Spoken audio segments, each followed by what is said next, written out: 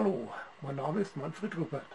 Ich möchte nun ein Feature des Epson ET M2140 vorstellen, das mich neben seiner wirtschaftlichen Druckweise am meisten beeindruckt hat.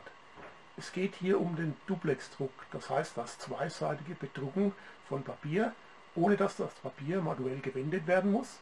Der Drucker erledigt das alles von selbst. Gleich geht's los.